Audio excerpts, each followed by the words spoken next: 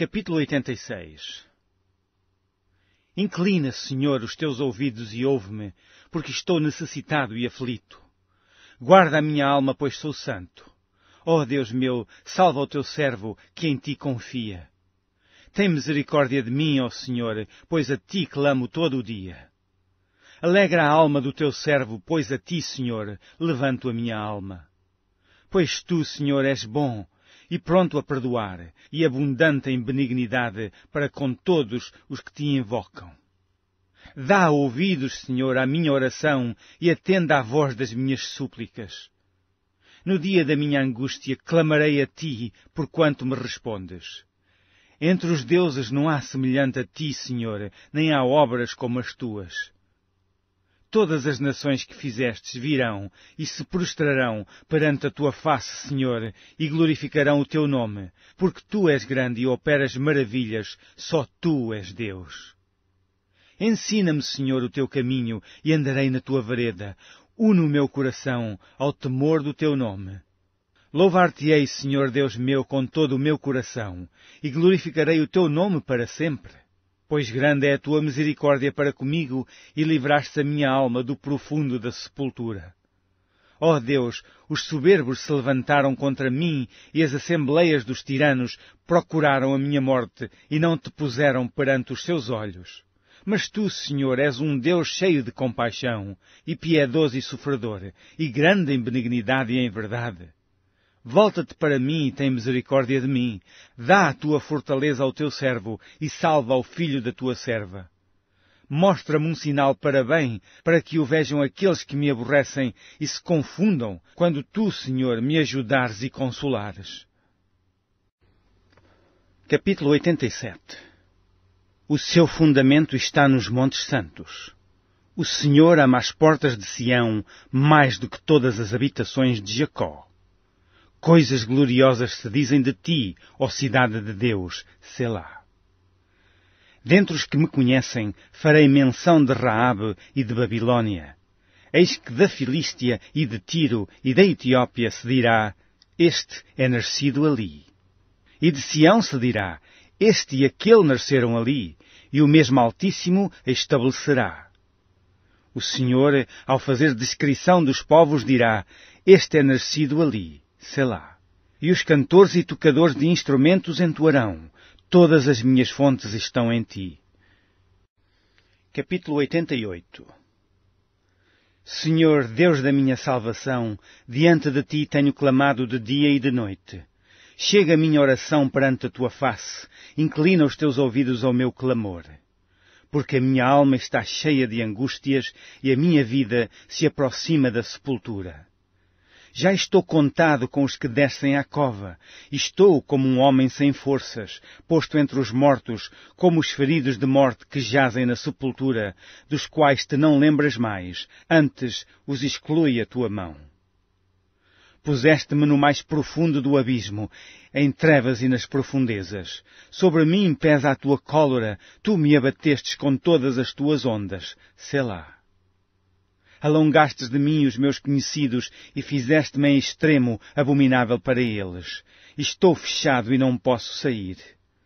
A minha vista desmaia por causa da aflição. Senhor, tenho clamado a Ti todo o dia, tenho estendido para Ti as minhas mãos. Mostrarás Tu maravilhas aos mortos, ou os mortos se levantarão e Te louvarão? Sei lá. Será anunciada a tua benignidade na sepultura ou a tua fidelidade na perdição? Saber-se-ão as tuas maravilhas nas trevas e a tua justiça na terra do esquecimento? Eu, porém, Senhor, clamo a ti e de madrugada te envio a minha oração.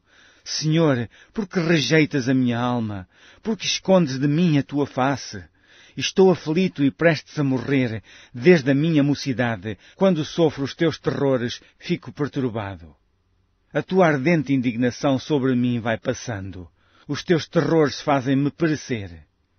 Como águas me rodeiam todo o dia, cercam-me todos juntos. Afastastes para longe de mim amigos e companheiros. Os meus íntimos amigos agora são trevas. Capítulo 89 As benignidades do Senhor cantarei perpetuamente. Com a minha boca manifestarei a tua fidelidade de geração em geração. Pois disse eu, a tua benignidade será edificada para sempre. Tu confirmarás a tua fidelidade até nos céus, dizendo, Fiz um concerto com o meu escolhido, jurei ao meu servo Davi. A tua descendência estabelecerei para sempre e edificarei o teu trono de geração em geração. Selá e os céus louvarão as tuas maravilhas, ó Senhor, e a tua fidelidade também na Assembleia dos Santos. Pois quem no céu se pode igualar ao Senhor? Quem é semelhante ao Senhor entre os filhos dos poderosos? Deus deve ser em extremo tremendo na Assembleia dos Santos e grandemente reverenciado por todos os que o cercam. Ó oh, Senhor Deus dos exércitos, quem é forte como tu, Senhor, com a tua fidelidade ao redor de ti? Tu dominas o ímpeto do mar, quando as suas ondas se levantam, tu as fazes aquietar. Tu quebrantastes a Raabe como se fora ferida de morte, e espalhaste os teus inimigos com o teu braço poderoso. Teus são os céus e tua é a terra, o mundo e a sua plenitude, tu os fundaste. O norte e o sul, tu os criaste. O Tabor e o Hermon regozijam-se em teu nome. Tu tens um braço poderoso, forte é a tua mão e elevada a tua destra. Justiça e juízo são a base do teu trono, misericórdia e verdade vão adiante do teu rosto. Bem-aventurado o povo que conhece o som festivo. Andará, ó Senhor, na luz da tua face. Em teu nome se alegrará todo o dia e na tua justiça se exaltará. Pois tu és a glória da sua força e pelo teu favor será exaltado o nosso poder. Porque o Senhor é a nossa defesa e o Santo de Israel o nosso Rei. Então em visão falaste do teu santo e disseste, socorri um que é esforçado, exaltei a um eleito do povo. Achei a Davi meu servo, com o meu santo óleo o ungi. Com ele a minha mão ficará firme e o meu braço o fortalecerá. O inimigo não o importunará, nem o filho da perversidade o afligirá e eu derribarei os seus inimigos perante a sua face e ferirei os que o aborrecem. E a minha fidelidade e a minha benignidade estarão com ele, e em meu nome será exaltado o seu poder. E porei a sua mão no mar e a sua direita nos rios. Ele me invocará dizendo, Tu és meu Pai, meu Deus, e a rocha da minha salvação. Também por isso lhe darei o lugar do primogênito. Falo-ei mais elevado do que os reis da terra. A minha benignidade lhe guardarei para sempre, e o meu conserto lhe será firme. E conservarei para sempre a sua descendência e o seu trono, como os dias do céu. Se os seus filhos deixarem a minha lei e não andarem nos meus juízos, se profanarem os meus preceitos e não guardarem os meus mandamentos, então visitarei com vara a sua transgressão e a sua iniquidade com açoites. Mas não retirarei totalmente dele a minha benignidade, nem faltarei à minha fidelidade. Não quebrarei o meu concerto, não alterarei o que saiu dos meus lábios. Uma vez jurei por minha santidade, não mentirei a Davi a sua descendência durará para sempre, e o seu trono será como o sol perante mim. Será estabelecido para sempre como a lua, e a testemunha no céu é fiel. Selá. Mas tu rejeitaste e aborreceste, tu te indignaste contra o teu ungido. Abominaste o concerto do teu servo, profanaste a sua coroa, lançando-a por terra, derribaste todos os seus muros, arruinaste as suas fortificações. Todos os que passam pelo caminho despojam, tornou-se ele o opróbrio dos seus vizinhos, exaltaste a destra dos seus adversários, fizeste com que todos os seus inimigos se regozijassem. Também embutaste o fio da sua espada e não o sustentaste na peleja. Fizeste cessar o seu esplendor e deitaste por terra o seu trono. Abreviaste os dias da sua mocidade, cobriste-o de vergonha. Selá. Até quando, Senhor? Esconder-te-ás para sempre? Arderá a tua ira como fogo? Lembra-te de quão breves são os meus dias, porque criarias de Baal de todos os filhos dos homens. Que homem há que viva e não veja a morte? O que livre a sua alma do poder do mundo invisível? Selá. Senhor, onde estão as tuas antigas benignidades que juraste a Davi pela tua verdade? Lembra-te, Senhor, do opróbrio dos teus servos e de como trago no meu peito o escárnio de todos os povos poderosos, com o qual, Senhor, os teus inimigos têm difamado, com o qual têm difamado as pisadas do teu ungido. Bendito seja o Senhor para sempre. Amém e Amém. Capítulo 90 Senhor, tu tens sido o nosso refúgio de geração em geração. Antes que os montes nascessem, ou que tu formasses a terra e o mundo, sim, de eternidade a eternidade, tu és Deus. Tu reduzes o homem à destruição e dizes, Volvei, filhos dos homens, porque mil anos são aos teus olhos como o dia de ontem que passou e como a vigília da noite. Tu os levas como corrente de água, são como um sono, são como a erva que cresce de madrugada. De madrugada cresce e floresce, à tarde corta-se e seca. Pois somos consumidos pela tua ira e pelo teu furor somos angustiados. Diante de ti puseste as nossas iniquidades, os nossos pecados ocultos à luz do teu rosto pois todos os dias vão passando na tua indignação. Acabam-se os nossos anos como um conto ligeiro. A duração da nossa vida é de setenta anos, e se alguns, pela sua robustez, chegam a oitenta anos, o melhor deles é canseira e enfado, pois passa rapidamente e nós voamos.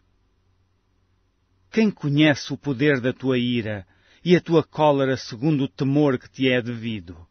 Ensina-nos a contar os nossos dias de tal maneira que alcancemos coração sábio. Volta-te para nós, Senhor, até quando? E aplaca-te para com os teus servos. Sacia-nos de madrugada com a tua benignidade, para que nos regozijemos e nos alegremos todos os nossos dias. Alegra-nos pelos dias em que nos afligiste e pelos anos em que vimos o mal apareça a tua obra aos teus servos e a tua glória sobre seus filhos. E seja sobre nós a graça do Senhor, nosso Deus, e confirma sobre nós a obra das nossas mãos. Sim, confirma a obra das nossas mãos. Capítulo 18 Busca seu próprio desejo aquele que se separa. Ele insurge-se contra a verdadeira sabedoria.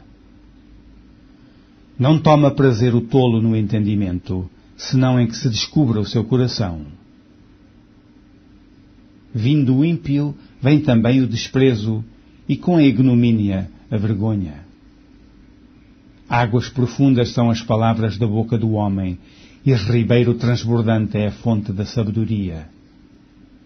Não é bom ter respeito à pessoa do ímpio, para derribar o justo em juízo. Os lábios do tolo entram na contenda e a sua boca brada por açoites. A boca do tolo é sua própria destruição e os seus lábios um laço para a sua alma.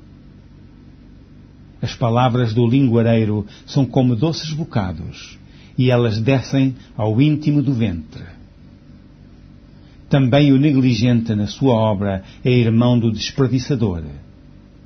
Torre forte é o nome do Senhor, para ela correrá o justo e estará em alto retiro. A fazenda do rico é sua cidade forte e como um muro alto na sua imaginação. Antes de ser quebrantado, eleva-se o coração do homem, e diante da honra vai a humildade. Responder antes de ouvir é estultícia e vergonha.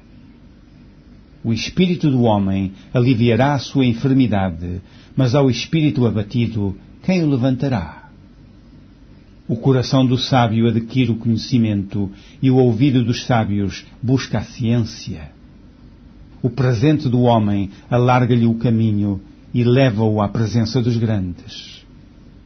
O que primeiro começa o seu pleito justo parece, mas vem o seu companheiro e o examina. A sorte faz cessar os pleitos e faz separação entre os poderosos. O irmão ofendido é mais difícil de conquistar do que uma cidade forte, e as contendas são como ferrolhos de um palácio.